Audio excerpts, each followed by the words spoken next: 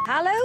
Is het konkening een stuk, jongens? Doe ik het even zo. Dames en heren, welkom dat jullie er zijn. Kennen jullie me allemaal goed verstaan?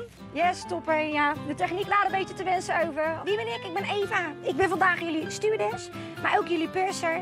Ik ga ook nog de hapjes verzorgen en ik assisteer de piloot. Dat heeft allemaal te maken met het feit dat jullie de allergoedkoopste vlucht hebben genomen. Dus ja, dan moet je een beetje gaan multitasken.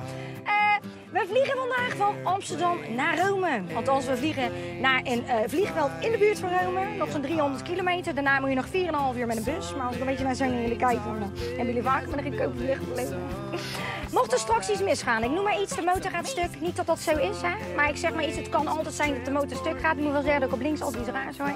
Oké, wat er dan gebeurt is, er komen zuurstofmaskertjes komen van boven naar beneden. Ik ga jullie vragen om die bij je eigen op te plaatsen. Gewoon lekker rustig te blijven ademen al over je hoofd heen. Ik moet wel erbij vertellen dat het een beetje voor de vorm is. We weten allemaal dat als een vliegtuig het water raakt, dan zijn we op slag hartstikke dood.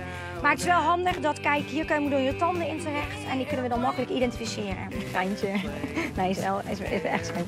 Ik wil je erop wijzen, dames en heren, dat roken is niet toegestaan. Hè? Eh, evenals telefoneren of masturberen. Kijk even naar jou. Ook niet op het toilet. Um, last but not least, are there English peoples in this plane? Yes, perfect. I can do the safety talks. I can do it in English, but you have to pay me 5 euros. Some airplanes fly just for fun. Some fly for business trips. Business or pleasure.